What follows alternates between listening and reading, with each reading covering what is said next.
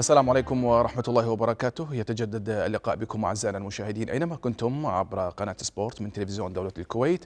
ويسعدنا أن نلقاكم من جديد عبر برنامجكم اليومي عالم الصحافة لمناقشة العديد من المواضيع المتنوعة والخاصة بالصحف الصادرة لهذا اليوم سواء المحلية أو العربية. وصولا إلى العالمية. فأهلا وسهلا بكم معنا.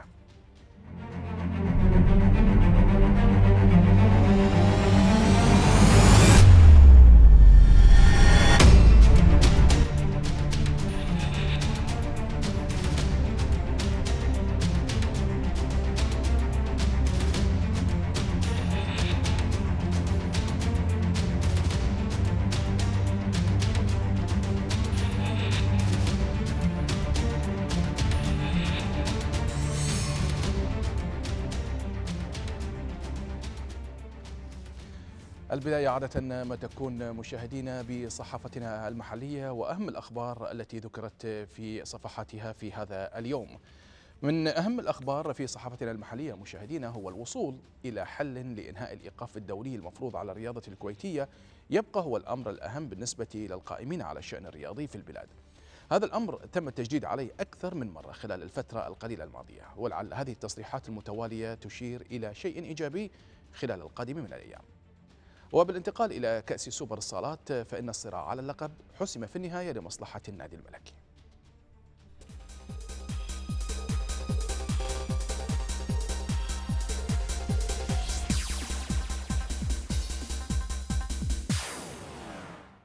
أكد وزير الإعلام وزير الدولة لشؤون الشباب الشيخ سلمان الحمود مساء أمس السبت أن الحكومة تقوم بجهود حثيثة من أجل رفع الإيقاف المفروض على الرياضة الكويتية مبينا أنها اتخذت إجراءات عدة في سبيل ذلك من أهمها إنجاز دراسة خصخصة الأندية الرياضية. وقال الحمود في تصريح للصحفيين عقب حضور حفل ختام بطولة سمو العهد للرماية ممثلا عن سمو العهد الشيخ نواف الأحمد راعي البطولة إن المسؤولية الوطنية تستوجب من الجميع أن يتساموا على خلافاتهم بهدف رفع هذا الإيقاف المجحف والذي لا يستند إلى مسوغات أو أسباب قانونية. حقق القادسية لقب نسخة السابعة من كأس السوبر لكرة الصلاة بعد تغلبه على كارما 7-3 بعد التمديد إثر تعادلهما 2-2 في الوقت الأصلي من اللقاء الذي جمعهما مساء أمس في صالة نادي الكويت. وقام بعدها رئيس نادي القادسية الشيخ خالد الفهد ونائب رئيس اللجنة المؤقتة لإدارة اتحاد الكرة التقي وعضو مجلس الإدارة خالد الفضلي وحسين الخضري بتقديم الميداليات الذهبية والكأس للاعب القادسية. فيما حصل لاعب كاظمة على الميداليات الفضية. ويتساوى بذلك الفريق القدساوي مع اليرموك بعدد مرات الحصول على اللقب بثلاثة ألقاب لكل منهما. مشاهدينا الجماهير العرباوية الغاضبة على النتائج المحققة مؤخرا من قبل الفريق الكروي الأول ستتابع عن كثب الاجتماع المرتقب للجهازين الفني والإداري مع إدارة النادي. ومن المتوقع أن تكون هناك قرارات حازمة. وبالذهاب إلى متصدر دوري فيفا لكرة القدم فإن الأمور يبدو أنها تسير في اتجاه استعادة النجوم الذين غابوا عن لقاء برجان الماضي وذلك خلال المواجهة التي ستجمع الأصفر بالجهراء يوم الجمعة القادم.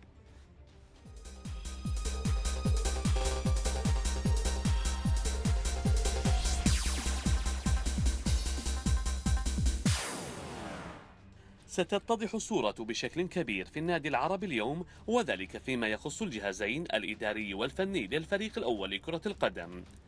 أكثر من سيناريو جرى مناقشته بين الأعضاء في الفترة التي تلت التعادل مع صيبخات في دوري فيفا ونتج عنه انفجار وغضب جماهيري. وربما يعقد اجتماع مجلس الإدارة اليوم لاتخاذ القرار الحاسم بشأن الجهازين. أول سيناريوهات يتمثل في الرضوخ لمطالب الجماهير وإقالة الجهازين الإداري والفني في حال لم يقدما استقالتيهما اليوم. السيناريو الثاني يتمثل في تجديد الثقة بالجهازين مع إلغاء عقود المحترفين. خاض الأردني شريف النواشة تدريبا منفردا أمس تحت إشراف مدرب الفريق الكرواتي داليبور ستاركوفيتش الذي وضع برنامجا خاصا للاعب والذي غاب عن الفريق بالجولتين الماضيتين من أجل إنهاء إجراءات إقامته بالبلاد وذلك لتجهيزه من أجل العودة لتشكيلة الفريق في الاستحقاقات المقبلة. وكان اللاعب قد عاد للبلاد أول أمس وحرص على متابعة مباراة فريقه أمام برغان من الملعب لمؤازرة زملائه. وفي سياق متصل أكد الدكتور عبد الله الفريح طبيب القدسية أن الثنائي بدر المطوع وعامر المعتوق سيدخلان تدريبات الأصفر الجماعية اليوم بعد تعافيهما من الإصابة. إذا مشاهدينا كانت هذه أبرز الأخبار في صحافتنا المحلية. بعد الفاصل نذهب إلى الصحافة العربية فلا تذهبوا بعيدا.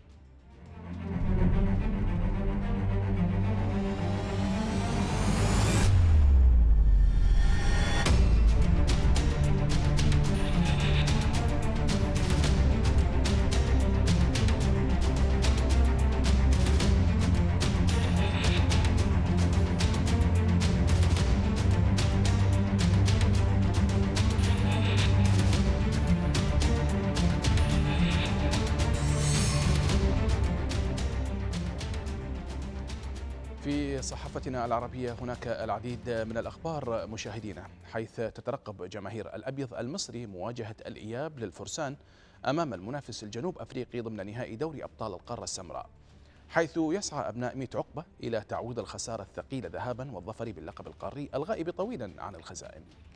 ومن مصر إلى العاصمة البحرينية المنامة حيث تنطلق اليوم لقاءات الدور ربع النهائي لنهائيات آسيا للشباب ويترقب الجميع هوية المتأهلين لقبل نهائي لحسم أسماء المنتخبات المتأهلة إلى المونديال.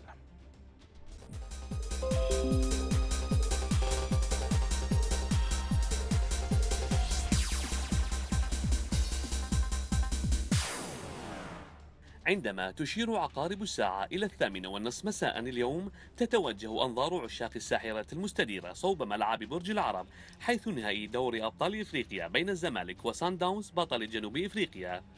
انتهى لقاء الذهاب لمصلحة الضيوف بثلاثة أهداف نظيفة وهو ما أضفى على المباراة مزيدا من الغموض والإثارة وكثيرا من السيناريوهات التي ربما تكون تراجيديا أو الصدمة وهو معرفة البطل مبكرا وهي فرصة سان داونز أو أن يجعلها لاعب الزمالك مباراة مثيرة تأخذ طابعا يعتمد على المفاجآت والمباغتة ويخرج لاعب الأبيض عن النص ويقدم واحدة من أروع الأعمال. تنطلق اليوم مباريات الدور ربع النهائي من كأس آسيا تحت 19 سنة بإقامة مواجهتين حيث يلتقي في الأولى منتخبا العراق والسعودية على ملعب استاد مدينة خليفة الرياضية عند الساعة الرابعة والربع عصرا. في حين يواجه منتخب البحرين الوطني للشباب نظيره الفيتنامي في اللقاء الثاني والذي سيحتضن استاد البحرين الوطني عند الساعة السابعة والربع مساء. وتدخل البطولة اليوم منعطفا مهما فيما يتعلق بتحقيق بطاقات العبور للدور النصف النهائي والذي يضمن لصاحبه الوصول لنهائيات كأس العالم والذي سيقام العام القادم في كوريا الجنوبية. وللحديث أكثر عن فرص الزمالك في لقاء هذا اليوم مع سان داونز الجنوب أفريقي نأخذ هذا الاتصال الهاتفي مع الأستاذ سامي عبد الفتاح مدير تحرير جريدة المساء المصرية. أستاذ سامي مساء الخير. مساء الخير أستاذ ساهر كيف حالك؟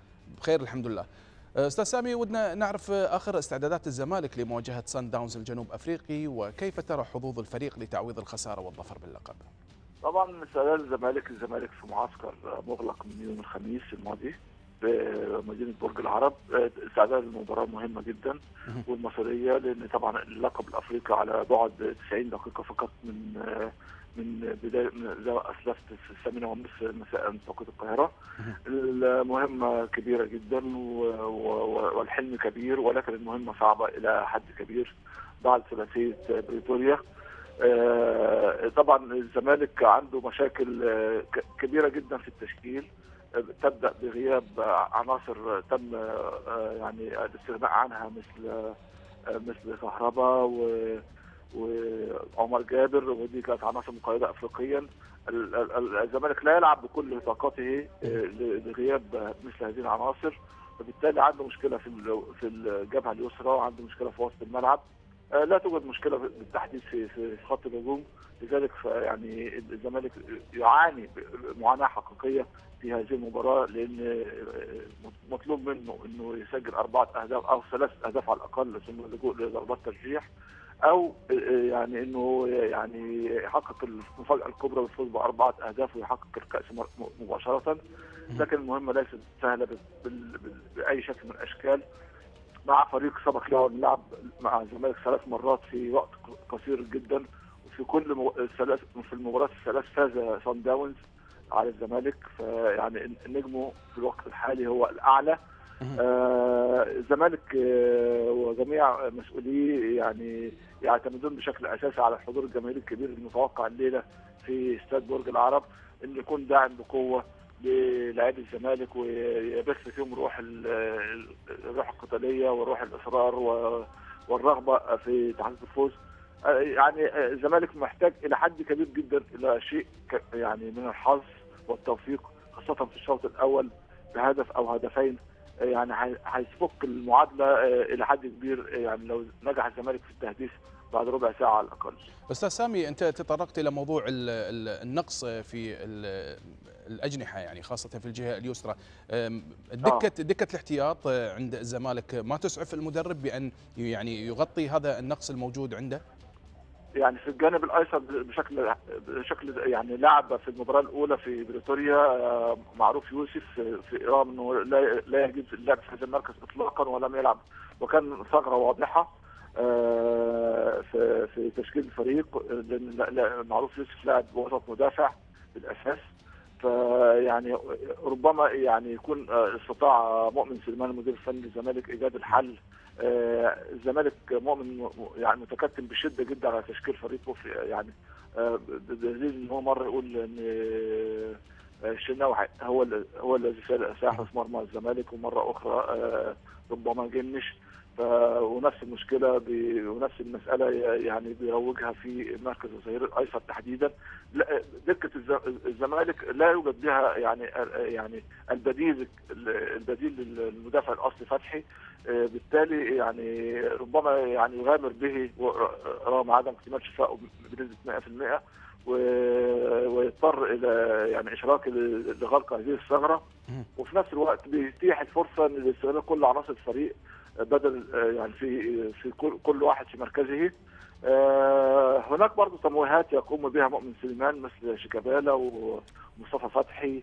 يعني إحنا, دكة إحنا نتمنى يعني أن تكون هذه التمويهات يعني تصب في مصلحة الزمالك اللي هو لا يمثل نفسه اليوم. فقط لكن يمثل أيضا الكرة المصرية ونتمنى التوفيق له إن شاء الله في لقاء اليوم لأن اليوم الجماهير ليست جماهير آه، الزمالك فقط إنما جماهير مصر العربية سوف تكون متواجدة لتساند هذا الفريق وإن شاء الله يعني يحقق الزمالك آه، هذه الكأس. كل الشكر للأستاذ سامي عبد الفتاح مدير تحرير جريدة المساء المصرية. شكرا لك.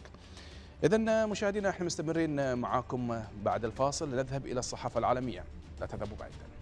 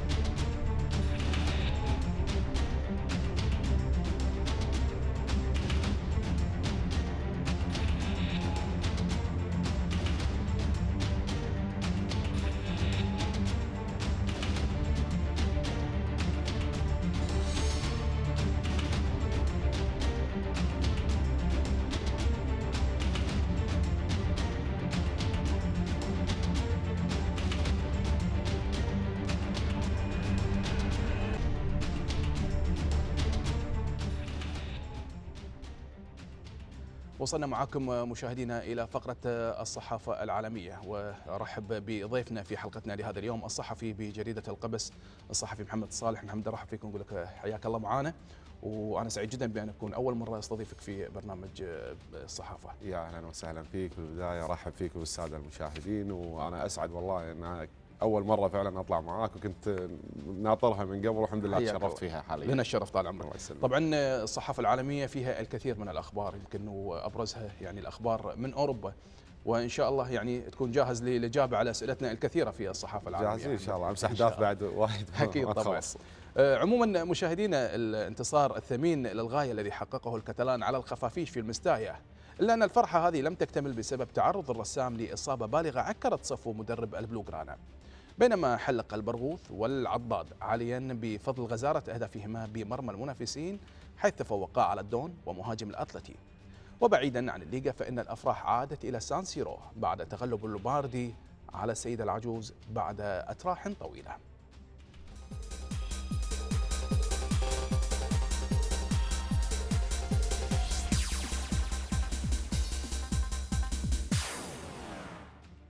تحدث لويس إنريكي مدرب برشلونة بعد فوز فريقه 3-2 على فالنسيا في إطار مباريات الجولة التاسعة من الليغا.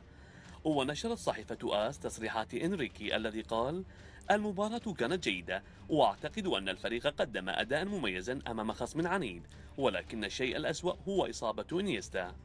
وأضاف إنريكي الجميع رأى قوة الإصابة ولكن لم يمنح الحكم البطاقة الصفراء للاعب غدا سوف نحدد مدة غيابه ولكنني أتوقع بأنه سيغيب لعدة أسابيع لأنها إصابة خطيرة وقوية. يعد خط هجوم برشلونة المتمثل بالثنائي اللاتيني ليونيل ميسي ولويس سواريز هما أكثر من سجل أهدافا في عام 2016 ببطولات الدوري. فبعد تألقهما أمام فالنسيا وتسجيلهما أهداف اللقاء أصبح في رصيد سواريز 32 هدفا وميسي 27 ليتصدر قائمة هدافي الدوريات الخمس الكبرى في هذا العام يليهم نجم ريال مدريد رونالدو ب 23 ومهاجم أتلتيكو مدريد الدولي الفرنسي غريزمان ب 19 هدفا. تحدث الإيطالي الواعد مانويل لوكاتيلي لاعب وسط ميلان عقب نهاية مباراة فريقه ضد يوفنتوس والتي انتهت بفوز روسونيري بهدف دون رد من توقيع لوكاتيلي على ملعب سانسيرو وقال اللاعب الشاب البالغ من العمر 17 عاما أنا لا أدرك ما حدث في تلك الكرة لقد سكنت شباك أفضل حارس في العالم. إنه أحد أسعد أيام حياتي. لقد سجلت هدفا رائعا. لم أفكر في شيء بعدما استلمت الكرة فقد سددت الكرة ثم سكنت شباك بوفون. طبعا مشاهدينا نأخذ في البداية أخبار الليغا مع محمد الصالح. طبعا إصابة نجم إنيستا سوف تبعده من ستة إلى ثمان أسابيع. هذه يعني ضربة موجعة لفريق البرشا. تعقيبك على هالكلام هذا. والله هو بالبداية أكيد ضرر موجه هو لاعب بقيمة إنيستا بغض النظر حتى لو كانوا البدائل كثيرين يعني. لاعب بمستوى إنيستا هذا شيء أكيد إنه يمثل ضربة موجعه لاي فريق كان يملك لاعب مثل إنيستا. خصوصا إن الفترة الماضية يعني في غيابات أكثر. بيكي تعور جوردي ألبا تعور. نتكلم عن ثلاث لاعبين أساسيين بالفريق ويعتبر بيكي هو قائد الدفاع في برشلونة. صحيح. جوردي ألبا ال back نشط جدا. Okay ممكن آه، ديني يعوضه لكن مو بالشكل اللي كان جوردي ألبا المجهود اللي يعطيه للملعب. اندريس انيستا آه، اللاعب اللي يفكك أي خصم إن كان يعني حتى البدلاء لو نطالع ممكن إنه ما يعوضون انيستا بشكل 100% كخطة نتكلم. لكن ثمان أسابيع كثيرة انيستا راح يغيب عن لعبة اشبيليا ولعبة سوسيداد خارج أرض برشلونة ويعتبرون لعبة صعبة جدا في أراضيهم هذول الفريقين. تحديدا كذلك راح يغيب عن الكلاسيكو وراح يغيب عن الديربي يعني مع مدريد ومع اسبانيول أيضا. تعتبر أيضا مباريات طبعا ما له حاجة نقول يعني مباريات ديربي برشلونة بالنهاية كلاسيكو العالم. صحيح. كذلك يغيب عن السيتي والثلاث مباريات البقية كلها اللي هي المتبقية في المجموعة. يمكن وضع برشلونة في أريحية بالمجموعة لكن مباراة السيتي القادمة ممكن إذا خسر برشلونة خصوصا انها هي على أرض السيتي ممكن تدخله في معمعة المحافظة على الصدارة. يعني الآن في ظل الأسماء اللي ذكرتها نقدر نقول إن يعني حتى لو عوضوا ونوجدوا في مكان نيستا راح يتم تتم المعاناة موجودة في صفوف هو الفريق؟ تم معاناة عدم وجود انييستا. أما شوف يعني على الشق الدفاعي إذا كان الفريق يبي يبي يلعب بطريقة دفاعية في أندري جوميز يغطي انيستا. في أردا توران وفي دينيس سواريز. ممكن يغطون مكان انيستا. لكن نتكلم عن أداء انيستا تحديدا خصوصا مع المجموعة هذه والتفاهم الكامل صحيح. معاهم في هذا المركز خصوصا. رسام يعني يعني إيه ف- بس البدلاء موجودين. في ثلاث بدلاء ممكن يلعبون مكانه. ممكن هذا يخليك شوية حده حده نقول برشلونه لأن اللاعب وبديله فقط موجود. فراح يلعب برشلونه انريكي وايد يغير. يعني كثير من المرات نشوفه إنه يبدل بالتشكيلة كثير وهذا حتى حتى اللاعب اللي راح يكون بمكانه راح يحس بعبء يعني عبء ثقيل. بتغطي بتغطي مكان إنيستا. يعني. هو إنيستا ميسي آه، لاعبين ما حد يغطي مكانهم. يمكن راس الحربة يساعدونك البقية خصوصا إن الفريق يخدمك. إنيستا هو خادم الفريق يعني. فاللي راح يكون مكانه راح يكون عليه حمل ثقيل. لكن تكتيكيا موجود البديل بالنسبة لبرشلونة. بس ما تعتقد إن هذا يعني أيضا من ناحية أخرى يكون مفيد للفريق بان تصير مداورة للاعبين بحيث إنك تريح لاعبين ويتم يعني الزج بلاعبين آخرين تعطيهم الفرصة وتصير المداورة وبالأخير يعني تتم عملية الاستشفاء من الإصابات يعني أسرع وأحسن يعني تكون. شوف المداورة عند إنريكي ودائما حتى البرشلونيين خصوصا مو بس بالكويت حتى برا يعني والصحف ال- الكتالونيه دائما ترد تعيد على إنريكي دائما هو كثير المداورة كثير جدا في المداورة. هذه المداورة في إنريكي خسرتها في بعض المباريات لأن مداورة إنريكي باربع خمس لاعبين مرة واحدة. فقصه المداورة موجودة موجودة بكل الحالات يعني. لكن وجود إنيستا تحديدا هو اللي راح يكون شيء مو موجود. فلذلك برشلونة خسر هذا اللاعب خصوصا إنيستا أنا بالنسبة لي يعتبر شبه اللاعب الأول إذا استثنينا ميسي طبعا هو ميسي استثنائي في كل الحالات يعني. على طاري على طاري ميسي يعني واستثنيته يعني. الآن صار معاه واحد ثاني بعد مثل ما معدينا يسموه ال- العضاض العضاض سواريز. إيش رأيك بالأرقام اللي قاعد يحققونها خاصة الآن في 2016 يعني والتفوق على جميع اللاعبين بما فيهم مثل ما قلنا هداف الأتلتي والدون كريستيانو. شوف هو في نقطة م- يعني مهمة جدا. لاعبين من فريق واحد شيء صعب إنه يكون يعني. يمكن إحنا قاعد نطالعهم لأن نجوم العالم فعندنا الموضوع عادي. هو ابدا مو عادي. ما يصير لاعبين من فريق واحد يتفوقون على جميع لاعبين العالم البقية. يعني بالنهاية في ماكينة الأهداف كريستيانو رونالدو. أيضا تفوقوا عليه. أرقامهم بالموسم الماضي شنو اللي بعد ممكن يخليهم إنه صعب يتفوقون أيضا؟ ثالثهم نيمار. يعني ثالث الفريق ثالث المهاجمين نيمار. وفي كريستيانو وفي آه، جريزمان. مع هذا متفوقين على الكل. في الموسم الماضي هذا هذا الثلاثي مسجل 90 هدف في الدوري فقط. سواريز 40 هدف وميسي 26 ونيمار 24 ما معناه إن الثلاثي الأمامي هذا أعتقد إنه ما صار بتاريخ كرة القدم. ما في ثلاثي كان يسجل بهالطريقة ومتفاهم بهالطريقة وقوي وفعال وإنتاجية داخل الملعب بهذا الكم الهائل الكبير جدا صراحة يعني شيء يفوق الخيال. نقول عادي لأنهم سجلوا وايد بس هو شيء مو عادي ابدا يعني ابدا ابدا. الاثنين من فريق صحيح، واحد يتفوقون صحيح. على جميع لاعبين العالم. في 2016 لو نروح إلى مكان آخر ونشوف يعني مستوى الواعد لوكاتيلي قائد المنتخب الإيطالي تحت 20 سنة إيش رأيك فيه؟ والله صراحة أمس أدى مباراة كبيرة وحتى لما نزل مباراه في هو قبلها لعب مع ساسولو وسجل هدف التعادل بعد ما كان ميلان متأخر 3-1 سجل هو هدف تعادل وفاز ميلان 4-3 في المباراة. هو رب ضارة نافعه لوكاتيلي لاعب بديل في ميلان ما هو أساسي. أمس أول مباراة يلعبها كأساسي. طبعا هذا كله لإصابة مونتوليفو يعني لو مونتوليفو مو مصاب رب ضارة نافعه رب ضارة النافع لو أي. مونتوليفو مو مصاب كان ما شفنا هذا اللاعب يعني. هو ترى عمره 17 سنة بالنهاية. 17 سنة ويسجل هدف على بوفون. بوفون أكبر منه ب 20 سنة. يعني بوفون يلعب بالفريق الأول هو للحين ما انولد أصلا. ف قدم هذا المستوى أمام يوفنتوس هو قائد فريق آه، تحت آه، 20 سنة في إيطاليا. يقدم أيضا مستويات جميلة في إيطاليا لكن حاليا هو احتياط. يفترض على ميلان إنه يحافظ على هذه الموهبة وما تصير مثل باقي المواهب. يعني على سبيل المثال أوباميانج مهاجم دورتموند هو من ناشئين ميلان. حاليا هو مو بميلان. فهذه المحافظة على هذا اللاعب تتطلب جهد كبير. محافظة إنك أنت لازم ما تبيعه. محافظة تصقل موهبته وتزيد من مو هذه مستواه هذه مشكلة الدوري الإيطالي مشاكل الاقتصاديه اللي قاعد يمر فيها المشاكل- وقاعد يستغني عن نجوم يعني. حاليا تدريجيا انتر و AC ميلان قاعد يعودون تدريجيا صراحة يعني. يعني صحيح إنه في بطء لكن حاليا ميلان مركزة مركزة جيد جدا. ميلان إذا عزز صفوفه في الانتقالات الشتويه لاعب لاعبين ممكن يكونوا على مستوى عالي علشان لوكاتيلي. مو بس علشان لوكاتيلي طبعا عشان الفريق كامل لكن لوكاتيلي راح يرتفع مستواه إذا لعب مع لاعبين مستوى أعلى شوية. إيش رأيك بميلان بصفة عامة وبالمدرب مونتيلا بشكل خاص؟ والله هو ميلان حاليا مثل ما قلت لك يتدرج تدرج آه، صدق إنه بطيء لكن عنده لاعبين واعدين وممتازين جدا. عندك نيانج وفي سوسو وكذلك آه، رومانيولي المدافع. واللاعبين الصغار اللي هم دوناروما الجولشي وزائد لوكاتيلي أيضا. مواهب جدا جميلة جدا جبارة جدا لاعبين قاعدين يقدمون شيء جميل لميلان. مثل ما قلت لك يحتاجون لاعبين يساعدونهم في هذا الأمر. مع بما معناه إن تعزيز الفريق في انتقالات شتوية بلاعب لاعبين وفي الصيف القادم تعززهم بلاعبين شباب ولا لاعبين خبرة؟ لا ممكن يكونون خبرة وشباب يعني حتى لو إنه يكون لاعب عمره 28 سنة على سبيل المثال يكون عنده عطاء يقدر يعطي. لأن لازم هذول يمتزجون مع لاعبين يقدرون حتى يحققون مراكز لازم يصير عندهم هدف.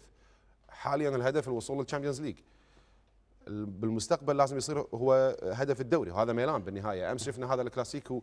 كلاسيكو كان ترى على فكرة يعني اللي يذكر قبل عشر سنوات وأكثر كان يغطي على كلاسيكو برشلونة ومدريد. أما بالنسبة للمدرب صراحة المدرب آه، إلى حد الآن ممتاز جدا. اللي قادر يقلب مباراة وقادر يتفوق على متصدر الدوري يظهر إنه عنده شيء للأمام. خلينا نروح إلى مكان آخر مع مشاهدينا والتحديد إلى ألمانيا حيث سيطر الإحباط على مدرب أسود سيجنال إيدونا بارك. مشاهدينا بعد تعثر الأصفر أمام منافس متواضع نسبيا ليبتعد الفريق خطوة عن صراع الصدارة مع البافاري. وقبل النهاية سلطت الصحف الفرنسية الضوء على تصريحات مدرب باريس سان جيرمان والذي أعلن تحديه لأندية القارة العجوز مبينا أن هدفه هو التتويج بلقب دوري الأبطال.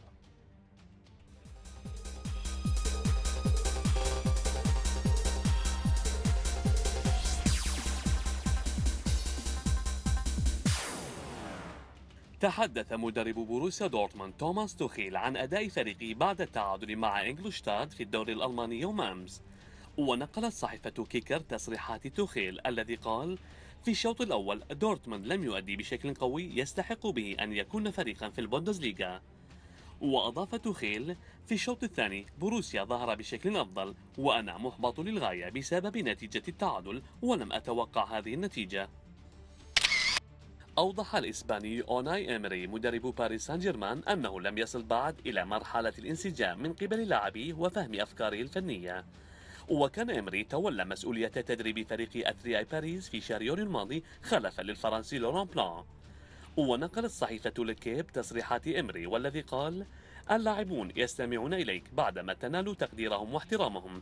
لم أصل بعد إلى هذه المرحلة. وأضاف إمري هدف سان جيرمان في المرحلة المقبلة هو التتويج بلقب دوري أبطال أوروبا. اذا خلينا نروح للبوندسليغا وتعليق المدرب توخيل مدرب دورتموند. إيش رأيك فيه؟ وإيش رأيك عموما في توخيل وادائه مع هذا الفريق؟ والله توخيل كان اداءه ممتاز صراحة بشكل عام أتكلم. لكن تصريحه تبي الصراحة أنا ما عجبني تصريحه. هو قاعد يتكلم عن إن الفريق الشوط الأول كأنه ما لعب ما يستحق حتى يلعب في أندية البوندسليغا. إحنا كلنا عارفين والمقولة الشهيرة والأساس عندنا إن المدرب الشوط الثاني هو شوط المدربين. فأنت لما تتكلم عن الشوط الأول وتشير إشارة غير مباشرة بأن كأن اللاعبين هم السبب. لكن إحنا لما نطالع دورتموند بشكل عام ها دورتموند أنت اللعبة اللي طافت متعادل أيضا مع هرتا برلين. صحيح. اللعبة اللي قبلها خسر دورتموند. هذه اللعبة تعادل. اذا عندك آخر ثلاث مباريات أنت ما فزت خسر من باير ليفركوزن. ف تصريح المدرب نوعا ما كأنه يلقي اللوم على اللاعبين وهو هو معني في الموضوع بالنهاية. فيفترض أن أنت تشيل الحمل شوية من اللاعبين وترجع مرة ثانية خصوصا أن لو نلاحظ دورتموند أو المتابع لدورتموند أهداف دورتموند غالبها في الشوط الثاني. فلازم علينا يتدارك هذه النقطة. لازم يعرف شلون يبدي المباراة أساسا. هي ما تصير صوب اللاعبين. اللاعبين هم نفسهم قاعد يبدعون الشوط الثاني. صحيح انه شوط المدربين لكن اللاعبين معناته عندهم شيء. أنت لازم تطلع في الشوط الأول بدل ما تطلع في الشوط الثاني. لو نروح إلى آه، فرنسا وتحديد إلى آه، باريس سان جيرمان تعتقد إن الوقت الآن وقت انه يحصل باريس سان جيرمان على آه، دوري أبطال أوروبا ولا للحين ما زال الوقت مبكر عليه؟ لا هو مو بكر هو متأخر صراحة. لأن خلاص باريس سان جيرمان كان مسيطر على الدوري الفرنسي في الفترة الأخيرة. أفضل فرصة كانت لباريس هي الموسم الماضي. أنهى الدوري مبكرا جدا. مع ذلك طلع من السيتي في طريقة بصراحه ما كان يعني ما كنا متوقعين مستوى باريس يكون في هذا الضعف يعني. كان السيتي ما كان الفريق ذاك الفريق القوي صراحة يعني. لكن مع هذا طلع منه باريس سان جيرمان. كنت شافوا اللوم على المدرب. العام كان المدرب والإعلام. وإدارة الفريق واللاعبين كلهم مركزين على ال Champions وبدليل أنهم حاولوا ينهون الدوري الفرنسي مبكرا وفعلا قدروا عليه. وتفرغون لدوري وتفرغوا لدوري ابطال اوروبا مع هذا طلعوا من منافس متواضع يعني ما نقول متواضع لكن بالنسبة لباريس يفترض انه كان باريس أقوى منه ومع ذلك طلع منه. فالفرصة هذه السنة شوية ممكن صعبة لأن وين وين تتوقع يعني إن إمري يعني إمري هو هو المحور؟ جايبينه من أشبيليا لأنه هو متفوق في هذه البطولات خصوصا يعني أو في مواجهات الذهاب والإياب تحديدا يعني مع أشبيليا ثلاث مرات ثلاث مرات متتاليه أخذ الكاس الاتحاد الأوروبي. بس عاد دوري الأبطال غير يعني. بالمقابل هو ترى طلع من دوري الأبطال. يعني العام المدرب نفسه طلع من أشبيليا بالدور الأول. وراح شارك في كأس الاتحاد الأوروبي وتفوق فيه، يمكن حاليا نوعية اللاعبين في باريس أفضل من اشبيليه، فممكن إنه يكون هذا الشيء يعطي إنه يكمل في دوري الأبطال. إلى ان يوصل دور 16 دور 16 عاد على حسب القرعة بالتالي لكن هو في المواجهات الذهاب والإياب يتفوق نوعا ما. إحنا عموما يعني ما زلنا في الربع الأول من المنافسات في هذا الموسم. يعني بعد لشهر خمسة إن شاء الله نشوف من راح يوصل إلى الختام. تو الناس ومن يأخذ دوري أبطال أوروبا. خصوصا إن الدوري الفرنسي شوية في صاير عليه ضغط شوية. حاليا نيس متصدر. صحيح. متصور انه بلا خسارة يعني. آه موناكو الثاني. موناكو متفوق على باريس وغالب باريس أساسا. موناكو متصدر مجموعته في آه، دوري الأبطال. فموناكو راح يكون يضايق باريس في الدوري. مو غريبة أو مو مفاجأة لو موناكو فاز بالدوري. موناكو صراحة قاعد يقدم مستوى كبير جدا. موناكو حاليا 29 هدف بالدوري. باريس 19 يعني شوف الفرق في سبع. لعبات. في سبع لعبات بس طالع إن هذا معدل تقريبا أربع أهداف بال- بالمباراة الواحدة. ونسبة عالية جدا صراحة. عموما إحنا ننتظر ونشوف إيش راح يصير في الدوري الفرنسي وإيش راح يصير في دوري أبطال أوروبا. محمد صالح الصحفي بجريده القبس. إحنا كنا سعداء جدا بأن تكون ضيفنا اليوم ولأول مرة في عالم الصحافة. ونتمنى إن شاء الله أن تكون ضيف دائم معنا للتحليل على آه، أهم ما يأتي في الصحافة سواء المحلية أو العالمية. شكرا لك محمد. الشكر موصول لك والإخوان العاملين في البرنامج وأنا أسعد والله إني متشرف اللقاء معاك لنا و- الشرف طال عمرك. وإن شاء الله الجايات أكثر. إن شاء الله. اذا مشاهدينا شكر موصول لكم على تواجدكم معنا طوال هذه الفترة. نلقاكم إن شاء الله في الغد وجولة جديدة في عالم الصحافة. حتى ذلك الحين تقبلوا تحياتي وتحيات الأخوة الزملاء. في أمان الله.